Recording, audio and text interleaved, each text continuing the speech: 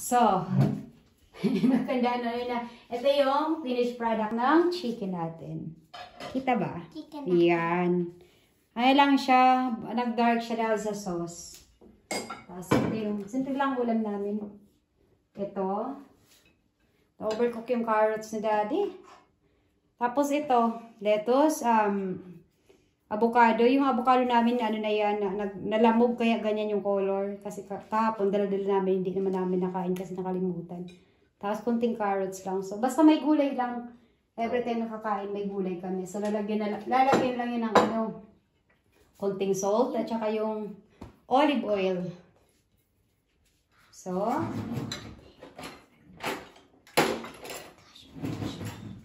Mm? Nej. hmm, Är nej, bra. det är säsongens. kain po ha. Kumain ng madami, kumain ng gulay po ha. Opo. Anong sir? I'm your mama. Tell me if enough. Let me know if enough. I wish. Let me know if enough ha. Enough. Then you can get more. Ay. Ay, daddy, make it ano. Yan. So, lagi kami may gulay. Hindi nawawala ng gulay kada kain namin. Kasi maganda, bata pa na sa ng kumain ng gulay. Right, anak?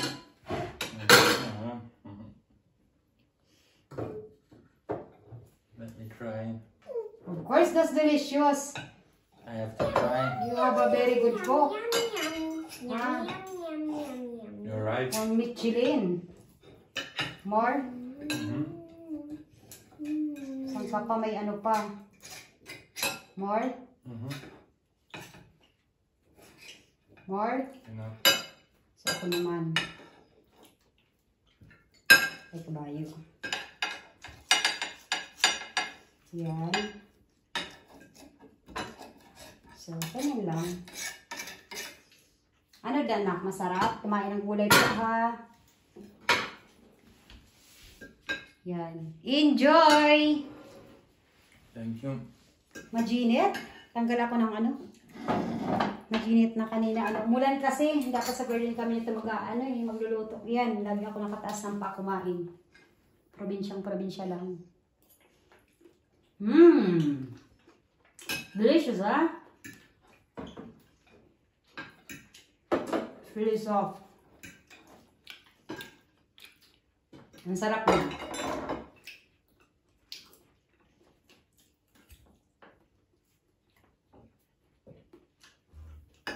Kahit hindi ka mahilig sa matamis, magugustuhan mo yung lasa nito.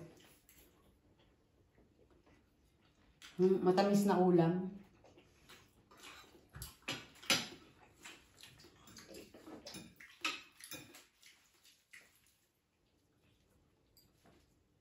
Gulay, daddy. Give me some.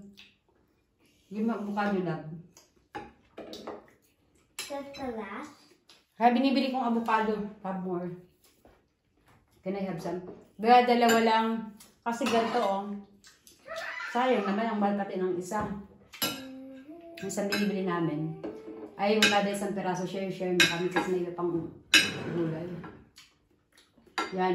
High fat diet. And some chili.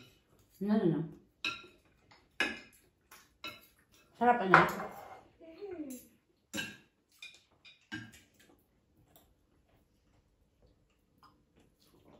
Kain po, kain. Kain tayo.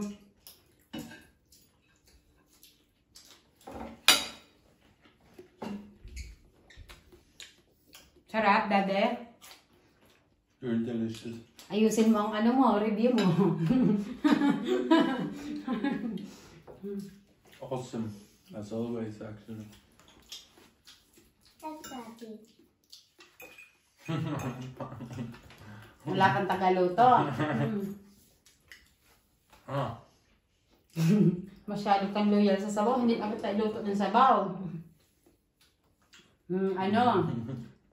Yung, yung you don't like, you have to eat. Ay, ng avocado, pero pinapakain ka ng avocado yan. Healthy fast and enough, that's the best for your health.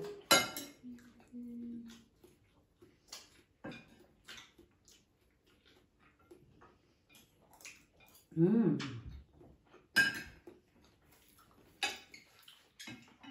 Ano, mainit dade? a towel? I get your towel? Useless. Mine, mine is one. Even your friends will love this. This is good for selling. Hindi lang kasi dito madali mag And you took it to my friend? ay nang ano magbenta ng pagkain. Hindi tulad sa atin. Kasi may mga permit permit. Although yung mga Pilipino sa sa online, meron kasing page ng mga Pilipino din. Mga nagbebenta. Yung parang yung iba sa kanila may ano may permit. Go get it. Kahit down. handmade lang. Masyado mahigpit dito. Just. I want no Mas, laugh. mas, mag, mas maganda pa sa Pilipinas. Manirahan kasi pag magaling ka mga ganyan magluto-luto, kikita ka.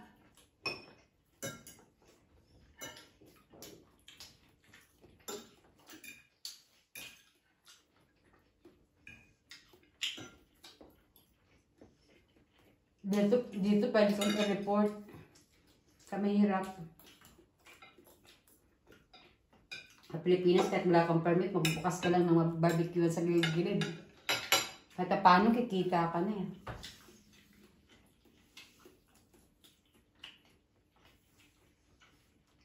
Kasi ang chicken, pag dinamihan mo, tapos hindi mo rin, hindi nyo rin mauubos, ano, matigas na, siya, matigas na siya kinabukasan. So, mas maganda yung tama lang ah, ubusin, yun lulutuin mo. Kasi pangit na pag na, ano na, naumagahan na. Masarap din yan daddy sa ano. What's this? Sa sandwich. Ano?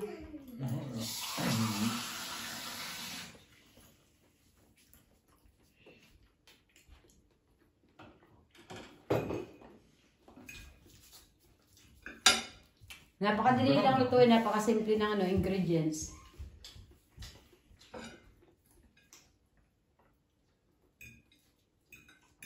Mong pambenta yun. Kaya pa yung mga restaurant ang lasa. Sa simpleng ingredients.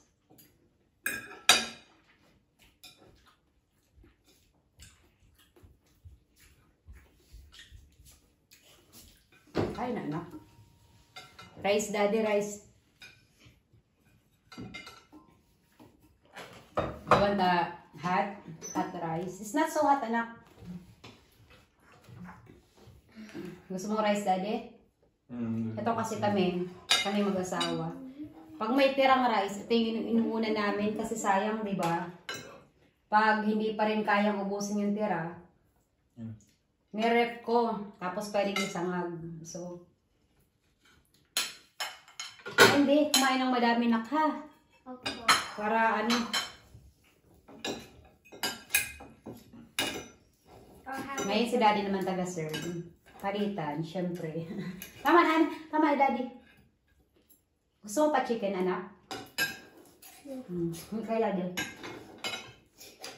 Sarap. You're lucky you have a mama that always cooks for you and daddy, ah. Hmm?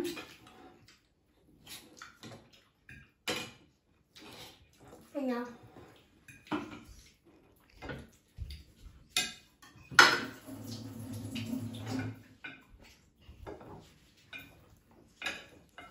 Sabihanan ko naman, ay, ay nagluluto sa kanila, ang papa niya. Kasi mama niya hindi marunong magluto. Bake lang. Ang ano niya, hindi, walang hilig. Pero yung bilan ko malaki, napakahilig din magluto. Right, daddy? Your mom don't know how to cook. She only, ano, for baking in their dad. Mm-hmm. But in the past, of course, she cooked, but Mm. just simple things. Mm. So cooking is not school- for cooking is not for everyone. That's why it doesn't mean you're a woman. You have to learn know how to cook. That's true. Some women's doesn't know how to cook because it's not their passion. Just like men, some men are really good cook, right? Mm. Most of the chefs in ano, restaurants are men. Ja.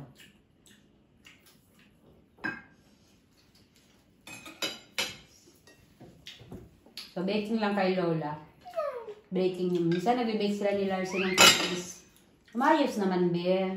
Hmm? Hmm. Sarap.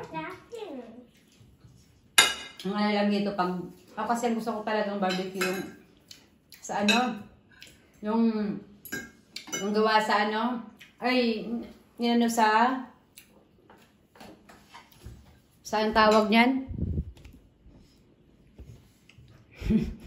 Kulit ni Larcy Boy. Yung sa ano ba? Yan. Kain anak, kumain lang ng kumain. Okay?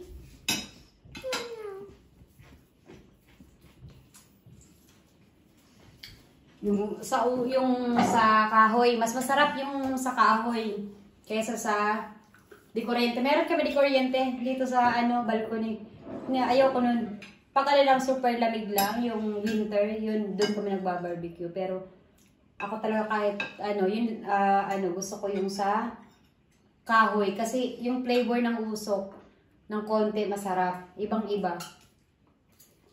Yun nga lang, mangangamoy ka talaga. Amoy usok. So, kailangan pagkatapos, ligo ka.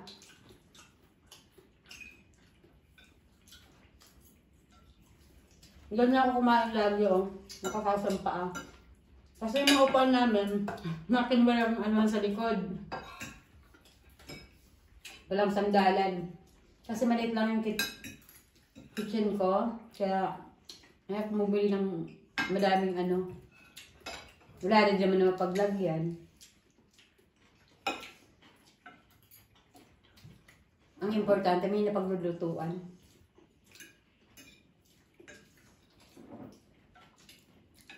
Gusto mo pa, Daddy? Mm. Eat the chicken, Daddy. Finish the chicken. Balars cannot finish, oh. Look up. Harap. Ice, please, Daddy. Mhm. May nagutom ang baby ko, ah. Ja. Big boy na kasi, eh. Ina. Walang Jollibee dito. Hindi nakaka-Jollibee si Larcy Boy. Mga bata ang baby. Sa atin ba? Walang tatalo sa Jollibee sa kanila. Kahit ito gusto gusto yung Jollibee. Di ba mga ano, mga puti ayaw ng matamis na ano, at saka overcooked spaghetti. Ito gustong gusto niya eh.